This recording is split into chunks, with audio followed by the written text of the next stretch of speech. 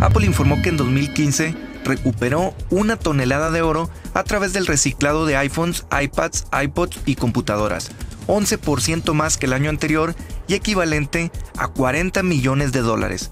La compañía de la manzana espera que esta cifra se incremente de manera considerable por el uso de Liam, un robot con 29 brazos independientes diseñados para desmontar más de un millón de dispositivos anuales con una velocidad de 62 segundos por unidad.